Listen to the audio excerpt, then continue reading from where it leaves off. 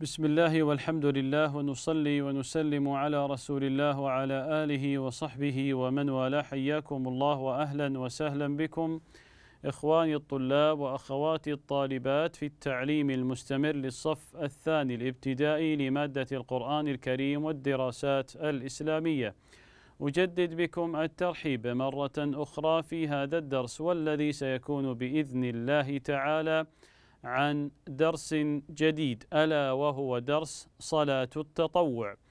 وهذا الدرس بإذن الله تعالى سيكون مقسوما على جزئين. سنأخذ الجزئية الأولى في هذا الدرس والجزئية الثانية ستكون في الدرس القادم بحول الله. ولكن سبق في الدرس الماضي أن أخذنا أحسنتم أحكام المسبوق فدعونا نتذكر أهم العناصر في هذا الدرس وقد مر معنا حديث أبي هريرة رضي الله عنه أن النبي عليه الصلاة والسلام قال: إذا سمعتم الإقامة فامشوا إلى الصلاة وعليكم بالسكينة والوقار ولا تسرعوا فما أدركتم فصلوا وما فاتكم فأتموا.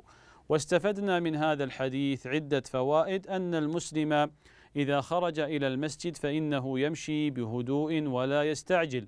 استفدنا أيضا أنه إذا أدرك الناس يصلون فإنه يدخل معهم في الصلاة مباشرة أيضا استفدنا من هذا الحديث أنه لا يشوش على المصلين في صلاتهم وذلك بالجري وإحداث آه، الصوت وغير ذلك لتنبيه الإمام لإدراك الركوع بل يكبر تكبيرة الإحرام ويتابع الإمام في صلاته. استفدنا أيضا أنه إذا فاته شيء من الصلاة فإنه يكمل صلاته بعد سلام الإمام بقدر ما فاته مع الجماعة.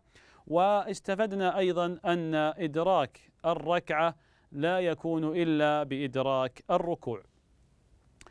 وأخذنا أيضا أن المسبوق يقضي ما فاته من الصلاة بعد أن يسلم. الإمام أحسنتم التسليمة الثانية.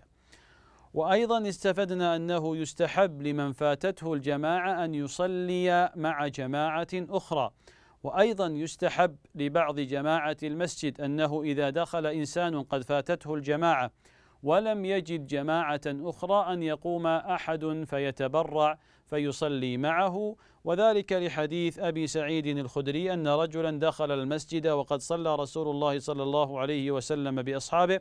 فقال رسول الله صلى الله عليه وسلم من يتصدق على هذا فيصلي معه. فقام رجل من القوم فصلى معه.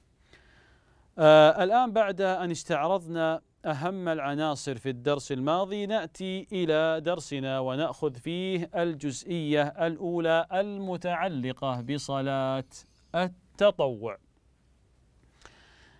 لا شك أن صلاة التطوع لها فضل خاص ولها فضل عظيم كيف ذا؟ وهي عبادة من العبادات التي يتقرب بها الإنسان إلى الله سبحانه وتعالى. والآن دعونا نستمع إلى هذا الحديث والذي من خلاله سنستخرج فضل صلاة التطوع.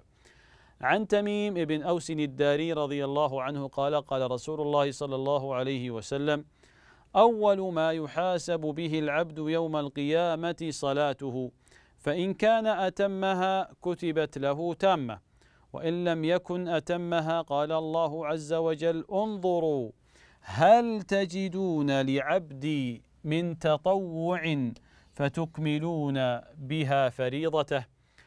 هذا الحديث العظيم يرشدنا إلى فضل صلاة التطوع، إذا ما هو فضل صلاة التطوع؟ نقول أن صلاة التطوع تكمل أحسنتم، نعم تكمل النقص الحاصل في الفريضة، لأن الله سبحانه وتعالى يحاسب الناس في يوم القيامة على الصلاة وهي صلاة الفريضة. فإن وجد في صلاة الفريضة تقصير أو نقص فيقول الله للملائكة انظروا هل له صلاة تطوع فتكمل آه، فتكمل النقص الحاصل في الفريضة أو لا إذا فنستفيد من هذا أن صلاة التطوع تكمل النقص وتجبر النقص الحاصل في الفريضة. ومعنى هذا أننا نكثر من صلاة التطوع لأن الإنسان يحصل له خلل ويحصل له قصور في صلاة الفريضة. وكيف نكمل هذا النقص وهذا الخلل وهذا القصور إلا بالإكثار من صلاة التطوع؟ الآن نريد أن نبين الفرق بين صلاة التطوع والصلاة المفروضة. فنقول نعم نقول إخواني وأخواتي أن صلاة التطوع مستحبة والحرص عليها يكمل النقص الحاصل في الفريضة. أما الفريضة فهي واجبة ولا يجوز للإنسان تركها وهي التي يحاسب عنها العبد يوم القيامة. إذا الفرق واضح وجلي بين صلاة التطوع والفريضة أن التطوع مستحبة ومكملة للفريضة. أما الفريضة فهي الواجبة والفرض والتي سيسأل عنها الإنسان يوم القيامة. الآن نأتي إلى أنواع صلاة التطوع. هناك أنواع كثيرة لصلاة التطوع ولكن أهم هذه الصلوات أولا السنن الرواتب السنن الرواتب وبعد قليل سنستعرض ما هي هذه السنن الرواتب وكم عددها ومتى تصلى. الثاني وهو الوتر وهو الوتر والوتر من أعظم العبادات ومن أعظم الصلوات بعد الفريضة وقد كان يحرص عليه النبي صلى الله عليه وسلم في سفره وفي حال إقامته. من أهمية لأهمية الوتر. بل, أن بل إنه عليه الصلاة والسلام إذا فاته الوتر في الليل قضاه في النهار مما يدل على أهمية الوتر.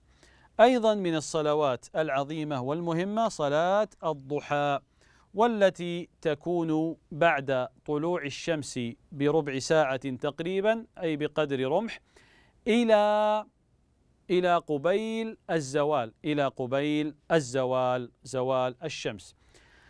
آه هذه أهم وأفضل آه صلوات التطوع السنن الرواتب صلاة الوتر وكذلك صلاة الضحى.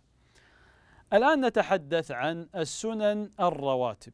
السنن الرواتب هي ثنتا عشرة ركعة. إذا عددها ثنتا عشرة ركعة. تفعل متى؟ تفعل مع الصلوات المفروضة. تفعل مع الصلوات المفروضة. ما هي هذه السنن؟ الرواتب يوضحها حديث أم حبيبة رضي الله عنها قالت قال رسول الله صلى الله عليه وسلم من صلى في يوم من صلى في يوم وليلة ثنتي عشرة ركعة بني له بيت في الجنة اربعا قبل الظهر وركعتين بعدها وركعتين بعد المغرب وركعتين بعد العشاء وركعتين قبل صلاة الفجر. إذا هذا الحديث عدد لنا السنن الرواتب الاثني عشر. آه سنأخذها أيضا بعد قليل ونفصل فيها ولكن قبل أن نبدأ في ذلك دعونا نسأل هذا السؤال. ما الصلاة التي ليس لها سنة راتبة؟ إذا تأملنا الحديث جيدا وجدنا أنه نص على صلاة الظهر والمغرب والعشاء والفجر. إذا تبقت صلاة ليس فيها أو ليست فيها سنة راتبة وهي صلاة أحسنتم. نعم وهي صلاة العصر. فصلاة العصر لم يخصها النبي صلى الله عليه وسلم بسنة راتبة لا قبلها ولا بعدها. السؤال الثاني ما جزاء من حافظ على أداء السنن الرواتب؟ جزاؤه أحسنتم يبني الله سبحانه وتعالى له بيتا في الجنة. الشرط أن يحافظ على أداء هذه الصلوات بشكل دائم وبشكل مستمر. الآن نأتي إخواني وأخواتي إلى الفرق بين السنن الرواتب وبقية النوافل. فنقول أن السنن الرواتب تؤدى بعد الصلوات المفروضة أو قبلها. إذا السنن الرواتب نؤديها إما بعد الصلاة المفروضة أو قبل الصلاة المفروضة. أما بقية النوافل فتؤدى في أي وقت عدا أوقات النهي. وأوقات النهي هذه سيأتي لها درس مستقل بإذن الله تعالى. الآن دعونا نتذكر مرة أخرى السنن الرواتب. فالسنن الرواتب السنة الأولى أن يؤديها أربع ركعات قبل الظهر. إذا قبل الظهر أربع ركعات ركعتين ثم يسلم ثم يأتي بركعتين.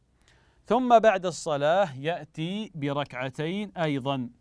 إذا هذه ست ركعات لصلاة الظهر. ست ركعات لصلاة الظهر أربعا قبل الظهر وركعتين بعدها. وركعتان بعد المغرب. إذا بعد صلاة المغرب يصلي ركعتين. بعد صلاة المغرب يصلي ركعتين. هذه ثمان. وبعد العشاء يصلي أيضا ركعتين. وبعد العشاء يصلي ركعتين فهذه عشر. وركعتان قبل الفجر فهذه إثنى عشرة ركعة. إثنى عشرة ركعة. نعيد للمرة الأخيرة. أربع ركعات قبل الظهر وركعتين بعدها ركعتين بعد المغرب ركعتين بعد العشاء وركعتين قبل الفجر قبل الفجر إذا هذه السنن الرواتب وعرفنا أنها مرتبطة بالصلوات المفروضة وأن من حافظ عليها بنى الله سبحانه وتعالى له بيتا في الجنة.